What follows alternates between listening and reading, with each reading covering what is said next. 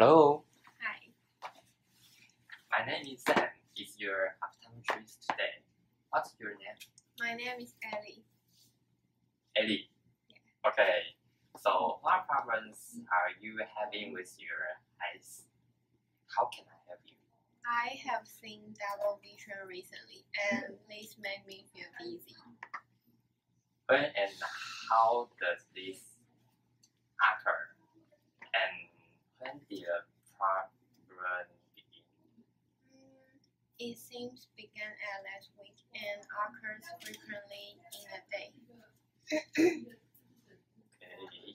Where is the problem located? Does it occur when you focus on distance or just occur when you reading or scrolling your phone? It just occurs when I'm doing work at near, like using laptop or correcting paper and so on. How long do your symptoms last? Just a few seconds. The normal vision always come back after I blink my eyes and focus again. When do you get prescribed of this pair of glasses? It's about a month. A month. Yeah. Right. I'm going to ask you some questions to gather your information.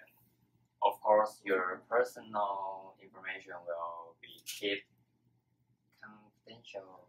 So please answer me truthfully. Okay, What's your occupation? I'm a teacher and teaching history.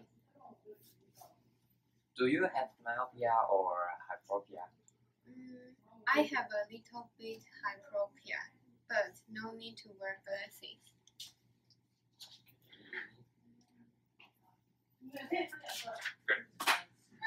How many fingers do you see? Mm, I see three fingers. Three. Yeah. Great. We should do more examination to evaluate and solve your problem. Do you or your family have any general health problems? No, Do you take any medicine for that problem? no, Take other medication? no, Have you ever undergone an ocular operation? no, Okay. Do you or your family have any ocular disease like cataract or glaucoma or anything else? no. No. Okay, fine. Then I'm going to test your flat fusion ability briefly. is to test the relationship of the visual axis of your eyes.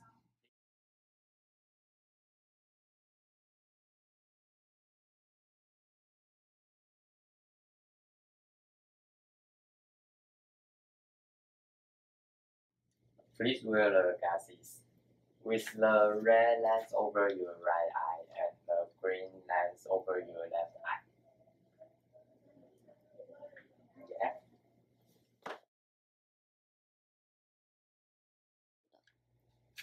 Please tell me how many dots do you see? Five dots. And tell me where the green and red dots are located. The red dots are to the right of the green dots. Hmm.